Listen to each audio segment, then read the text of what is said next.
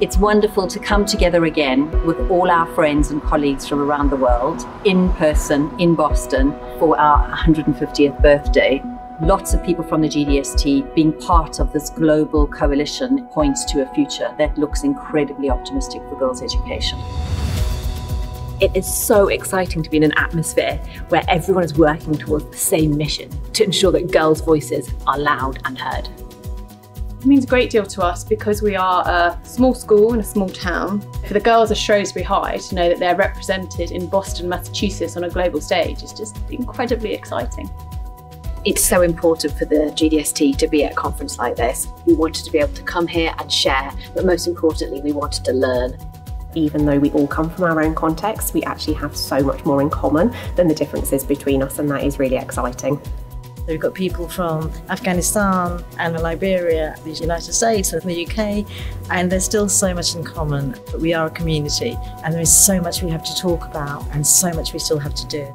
It's really important that the GDST, its heads and its students are part of the global conversation to make sure that girls and women are continually put at the centre of innovation because we've seen recently that things can turn backwards very quickly if we become complacent. I really want to call out the GDST for your leadership in the Global Action Research Collaborative on Girls Education. As I see our teacher research fellows presenting such quality action research projects so that we can all benefit from what they learned in the classroom, it's really been extraordinary and we couldn't have done it without the GDST.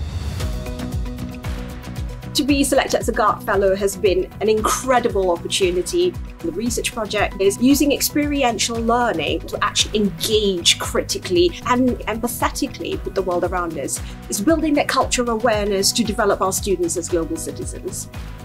To be selected as a GARC Fellow was a huge privilege. I could develop my own skills and research, but also it allowed me to make connections across the globe the opportunity to connect globally. It's important for the girls, but it's also important for us as heads to meet and discuss the really important issues. And it's important that we, as a group of schools, ensure that we're absolutely clear on the relevance of all girls' education in a modern world. My standout moment so far has been listening to Shabana, who established the School of Leadership in Afghanistan. She talked about how education is a tool of freedom and that peace can come about if we prioritise girls' education.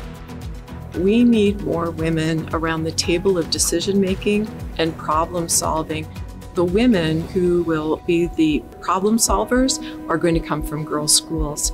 So, what you're doing at GDST to create change makers and bridge builders, they're our future, and they're going to be absolutely necessary for us to bring our full human potential to solving these really big world problems.